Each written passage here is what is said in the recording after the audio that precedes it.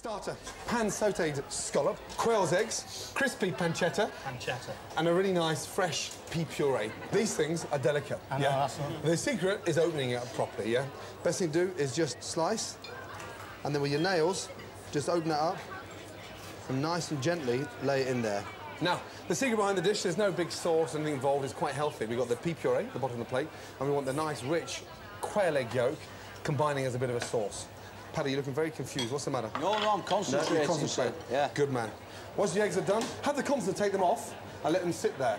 Right, six scallops. And the idea now is just seasoning from a height. And that gets a really nice, even distribution. OK, we start at 12 o'clock, work our way around, so we know which one needs to be turned first. Now, honestly, literally 30 seconds in, turn, 30 seconds the other side. If you ever cook them, they go really rubbery. Pea puree, yeah, this is blended.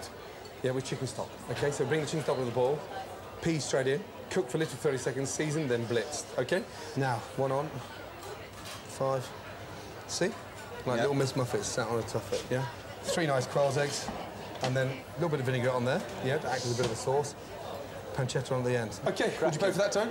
Yeah, definitely. Yeah, of course. If every dish goes out like that, yeah, trust me, you'll get 50 out of 50 paying for that, yeah? Yeah. Sections, let's have Steve and Paddy together, Tony, Yeah. Omran together. The two chunkies down that end and Steve and Paddy this end, yeah? One. Okay. Hang on, One go, go out, go out.